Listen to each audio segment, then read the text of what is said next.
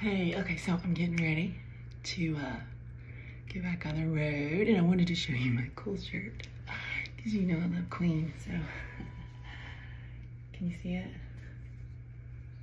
Isn't that cool?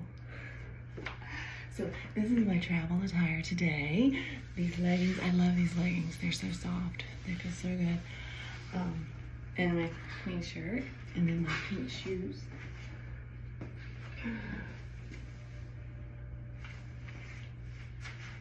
So, you have a fantastic day.